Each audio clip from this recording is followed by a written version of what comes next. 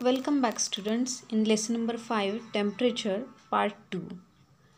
Before proceed to second part let's have a look what we learned in the previous video. Sun rays falling on the earth are straight and parallel to each other. However, we have seen that due to spherical shape of the earth and the resultant curvature of the surface they occupy a larger or lesser area.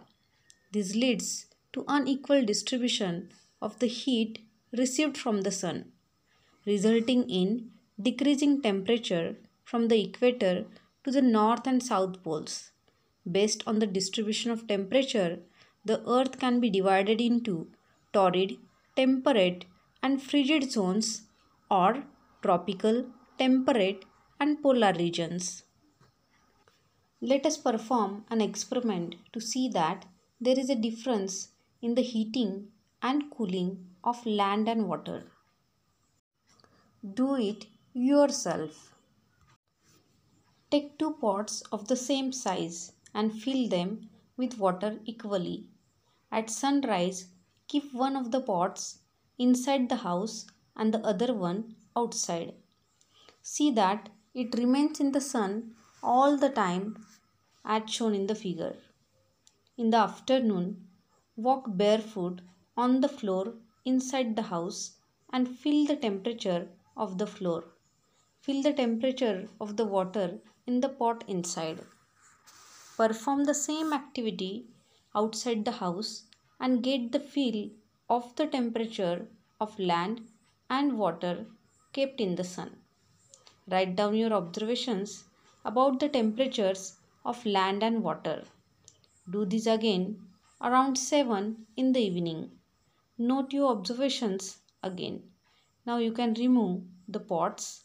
Discuss all the observations with your friends or parents.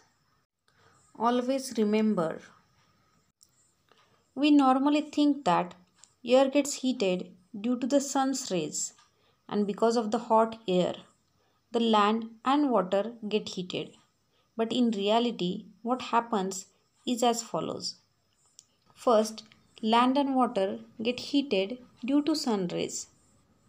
Later, they radiate into the atmosphere the heat that they have absorbed. As a result, the layer of the air close to the surface gets heated. The heat gets transferred vertically to the adjacent upper layers of the air. Hence, air closer to the surface is hotter and as one moves higher up from the surface, the temperature of the air decreases. The temperature near the sea level is higher and it decreases in the mountainous regions. Explanation You must have realized that the land cools down earlier than the water.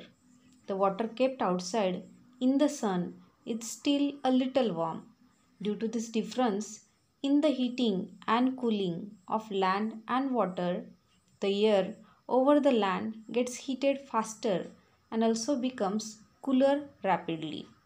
The air over the water gets heated slowly and also loses the heat in a slower manner. In the coastal areas, as compared to the continental areas, the temperature of air is lower during the day but warmer at night. Contrary to this, the temperature of air in the continental areas is higher during daytime and lower at night. In the coastal areas, because of the heating of the seawater, water vapors get mixed in air. These water vapors hold the heat in the air. As a result, the air in the coastal areas remains moist and warm. Conditions in the continental areas are the opposite. As water vapor is absent, the air remains dry. This leads to the sharp differences in the day and night temperatures. The difference in the maximum and minimum temperatures of a day is called diurnal range of temperature.